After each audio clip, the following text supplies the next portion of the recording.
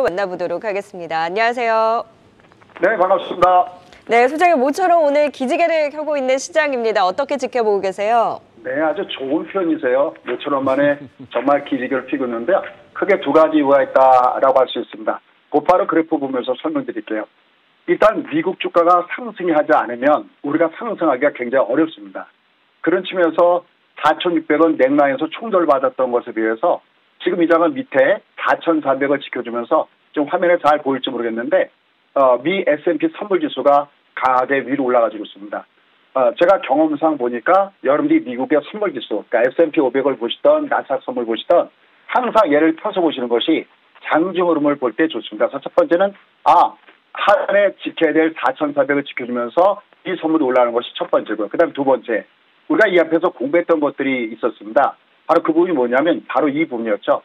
우리나라 시장을 보면은 우리나라 시장은 현재 추세적으로는 미안한 얘기지만 아직 하락 기조에 있습니다. 보이시죠? 일 아래로 내려가는 거. 근데 하나 다행성이 있다고 그랬습니다.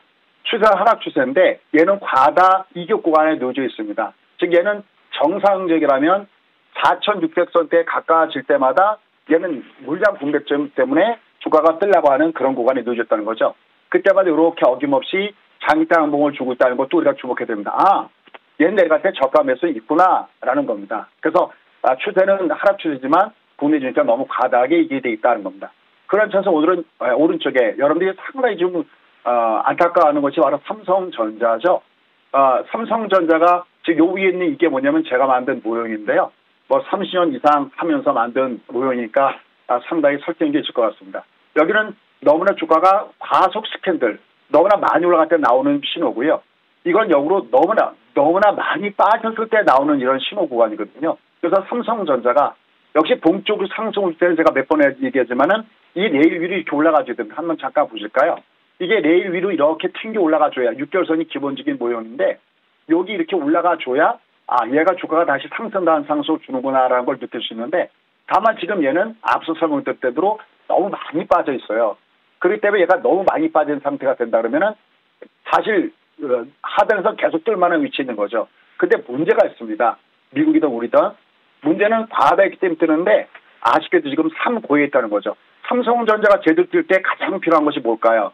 글쎄요. 뭐 전문가마다 사람마다 다 뭐 얘기는 다 다르겠지만 문제는 이 환율입니다. 그래서 지금 오히려 지금은 3고에 있다. 고인플레에 놓여 있죠.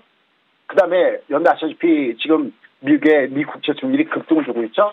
여기다 제임스 블러드는 앞으로 남았을 남은 여섯 번에 계속 50pp씩 이거 올려야 된다고 주장을 하고 있죠. 여기다 우리는 또 관유까지 있죠. 이 상고까지 있는 상태 속에서 오늘 주가가 올라가는 것은 과다이기 때문에 올라가는 건 좋은데 아직 주변적인 변수가 많습니다. 그중 대표적인 세 가지가 있는데 하나는 18일부터 어, 24일까지 IMF 월드뱅크 총회가 있는데 마지막으로 블랙아웃 전에 제롬 파월이 뭐라고 하는지 들어볼 것이 우리가 체크 포인트고요. 그 다음에 이제 테슬라, 넷플릭스 실적 발표가 나오는데 실적이 좋아야 결국 주가가 오르니까 이것이 두 번째고요. 세 번째는 베이지북 발간 여기와 관련돼서 어떤 얘기들이 나오는지 이걸 좀 봐야 됩니다. 그래서 결론 아직까지는 방향성보다는 변동성으로 올라가는 주가다라고 보셔야 되겠고요. 이럴 때 역시 실적 좋은 종목을 보셔야 됩니다. 여러분들 에두사 아시죠? 어, 지금 보시면 에두사가 매출이 우리나라에서 3조 대박을 터뜨렸습니다.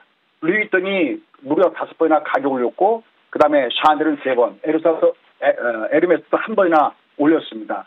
얘들이 이렇게 어, 떤 원가가 부담을 느꼈을 때, 인플레가 나타났을 때 이거를 판가다가 정가시킬 수 있는 이런 회사들, 이런 회사 중심에서 종목 중심의 상황에서 보시는 것을 권해드리고 싶고요. 그런 가운데 별로 안 올랐는데 밑에서 더 움직이는 점이 있습니다. 원익 IPS, 이거 뭐 미국발 반도체도 그렇지만 인수해서 반도체 기술 강화를 한다는 얘기도 있고요.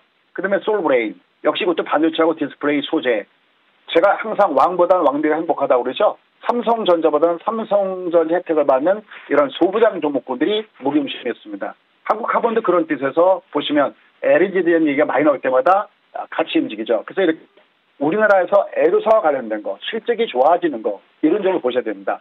다만 아직까지 지수는 방향성보다는 변동성에 놓여져 있고 그렇기 때문에 더욱더 다가오는 5월이 중요한 부분에 있다. 그래서 내려갈 때 매수 좋은데 올라갈 때 조금씩 리스크 관리 같이 하면서 같이 하면서 매매하는 것이 어떨까라는 말씀을 여러분께 전달드리고 싶습니다. 고맙습니다.